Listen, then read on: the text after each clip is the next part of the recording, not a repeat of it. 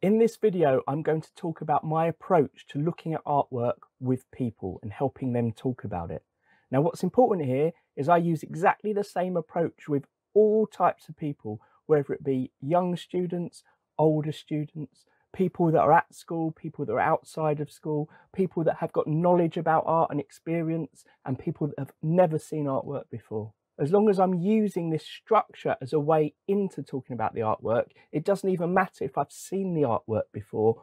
If I don't know anything about the artwork, it's as valid to use this approach, even if I've seen this work hundreds of times, read about it, and maybe even spoken to the artists themselves. And that's what's key here most of the time you're going to look at an artwork with someone, the artist isn't there. They're not there to tell us what it's about. We've only got the artwork to give us clues, and then we've got ourselves. And what I always ask groups the first time I'm looking at an artwork with them is the same question. And that is, what does every artwork you ever look at have in common? Now, it's a trick question, and people often have a range of different answers, all of which could be valid and interesting to talk about. But what I'm interested in is that every artwork you ever look at has got you looking at it, and you are the key to it. We can't remove our personal response to an artwork when we're thinking about it. And what's key is everyone's going to have a different personal response. Your personal responses are based on your own experience and knowledge.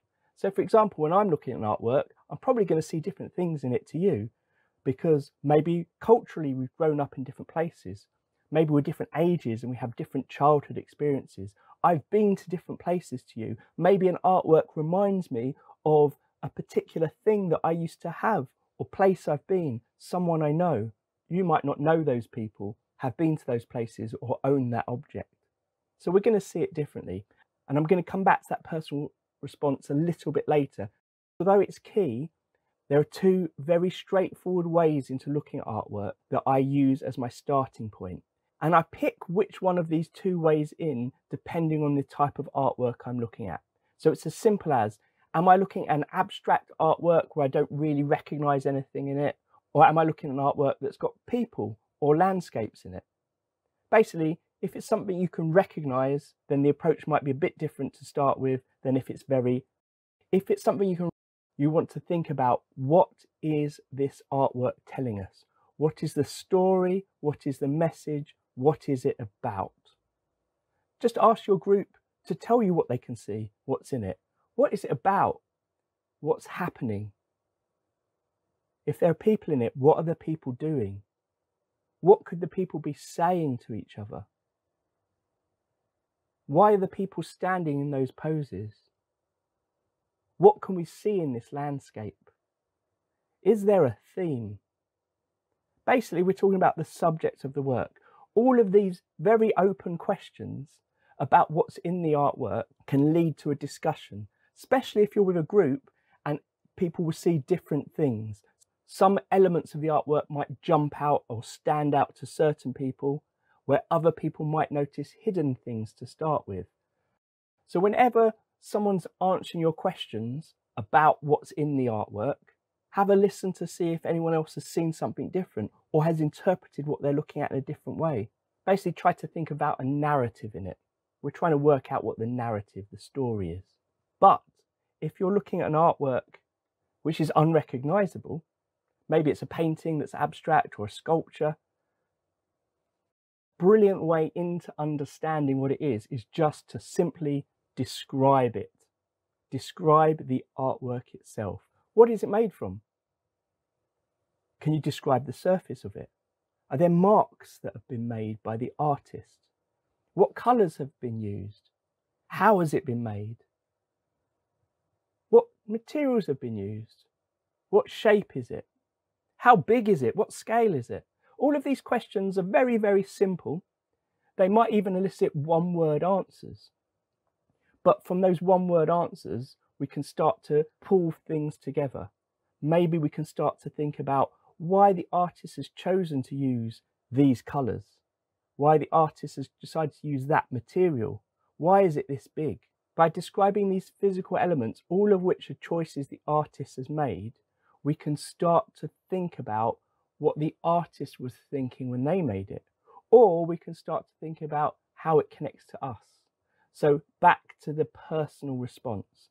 Now, there might be an overlap between these two ways that I've just talked about the more describing the physical object and the more talking about what it is and the story in it, depending on the artwork you're looking at. But these open ended questions are all really important. Then you can relate them to the personal. So when people are talking about what colours they've seen, you can ask them, why did the artist use those colours? What do they remind you of? What feeling do these colours evoke in you? When you're talking about a group of people or a landscape, you can say, what does this remind you of? Do you know this situation? Is this a place you've been? What would it be like if you were with these people, if you were in that space? So, some things to think about with a personal response are what are your first reactions to it? Actually, I normally ask that after we've had a discussion about either the materials and how it's made, etc., or about what we think is going on. Come back to your first reaction. Why does it make you feel like it makes you feel? What does it remind you of? We can get a bit more advanced. How does your age, your race, or your place of birth affect what you're seeing? And what does your reaction to this artwork tell you about yourself? Now, I've talked about this structure of my approach. Just remind you again, it's all about the personal connections and thinking about either describing the object or describing the story that's happening in the object. But let's think about ways you can actually do that with your group. Quite often, I would just do this by standing in front of the artwork with my back to it and asking people to answer my questions about describing it without me looking at it. I'm not looking at it. Tell me what I'm missing. If, you were describing it to someone that's not here, how would you describe it? Those sort of questions. One of the main ways I use this approach as an actual activity is by asking people to respond to my questions by writing them down on pieces of paper. And I always say, write down one word or one response on one piece of paper. And for each question I ask, just write down the first thing that comes into your head. Writing this on post it notes is quite good, or small cut up bits of paper. The idea being, at the end of me asking six or seven questions, they're going to have six or seven different words on different bits of paper. So the questions might have been what do the colours remind you of? What feelings does this evoke in you?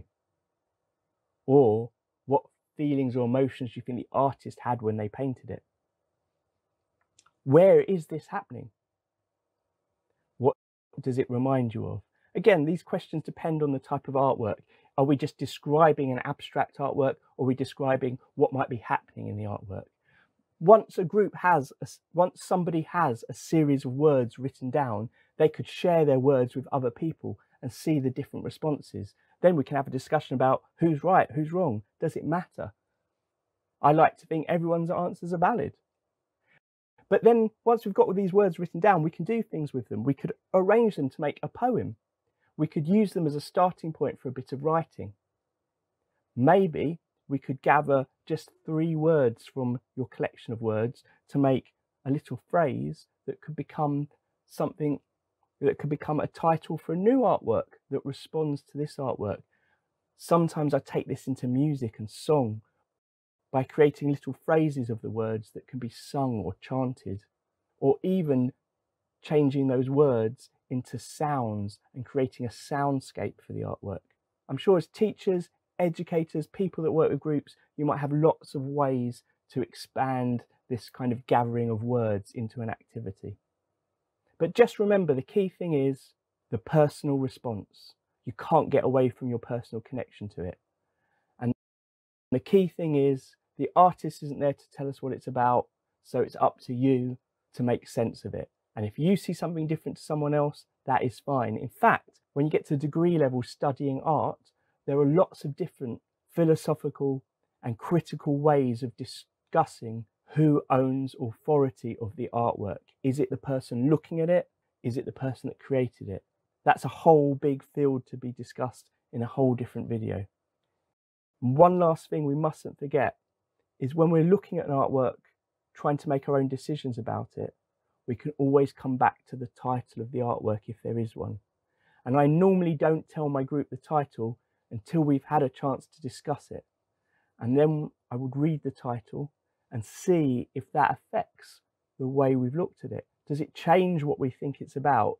Does it reinforce what we think it's about?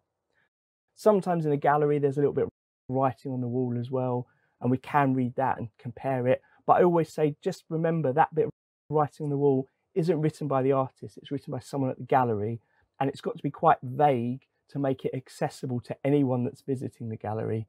Anyway, I hope this makes sense, and I look forward to hearing about how you have all used this in your own settings. So if you leave some comments in the description below, other people can come read those comments and maybe be inspired by your ideas as well. Sharing is caring. Thank you so much.